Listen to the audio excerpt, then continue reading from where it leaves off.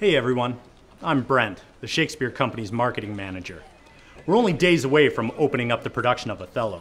And just as a little recap, for those of you who weren't paying attention in high school, here's what goes down.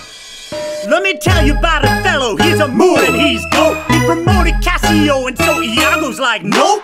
Iago started plotting, scheming cause he was jealous. He figured he could get this all to work out cause hell, is Othello just a guy who won't think his boo's cheating when Iago makes it look like Cassio and her meeting? A handkerchief is all Othello needs to be suspicious, and so Shakespeare weaves his plot about with language so delicious.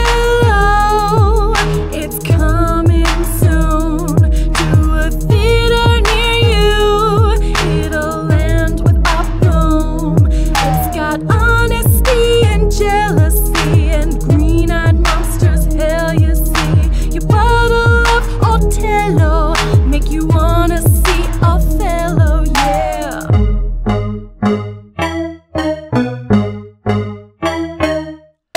The Shakespeare Company is gonna bring it, they will though. It's gonna hit you hard like Desdemona's pillow. Othello.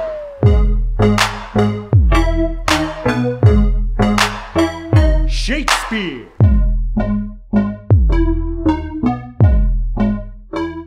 Check it out.